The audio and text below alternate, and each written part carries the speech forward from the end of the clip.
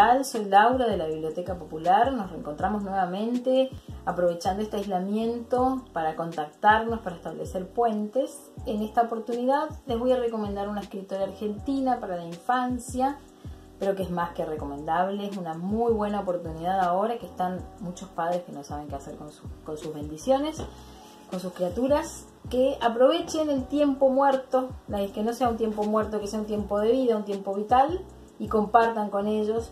Yo en este caso elegí a Elsa Bornemann, es una escritora argentina que junto con Mariana Walsh, Laura de Betach, Emma Wolf, Graciela Montes y otras tantas más cambiaron el panorama de lo que fue y de lo que era hasta ese momento la literatura para niños en Argentina y en América Latina y por qué no el mundo, porque verdaderamente cambiaron la, la manera de mirar la literatura dedicada, de mirar y de escribir, ¿no?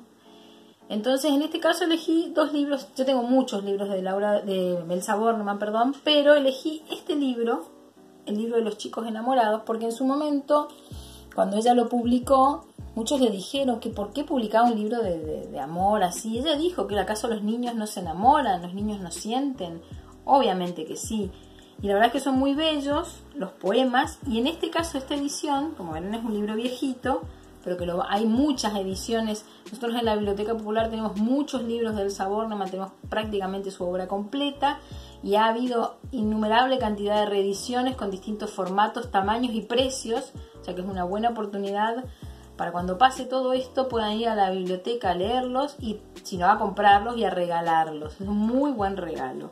En este caso, como les decía, tiene ilustraciones de Guido Bruberis, que es un ilustrador italiano, también ilustró otro libro que yo quería mucho y que en algún momento lo presté y nunca más lo recuperé, que es Willem van Budin o El último mago, que es una novela también del sabor para niños.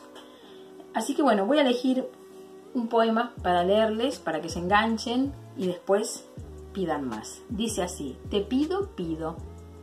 Por todo el sol que hemos bebido soñando juntos, te pido, pido el tibio pan de mi ternura vuelve a tu mano, tendida y pura. En el baulito de los olvidos guardé mi enojo. Te pido, pido.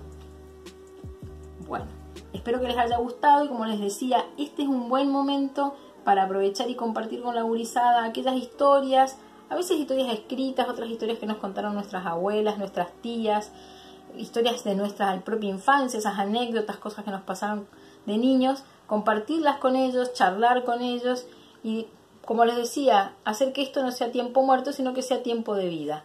Nos vemos la próxima.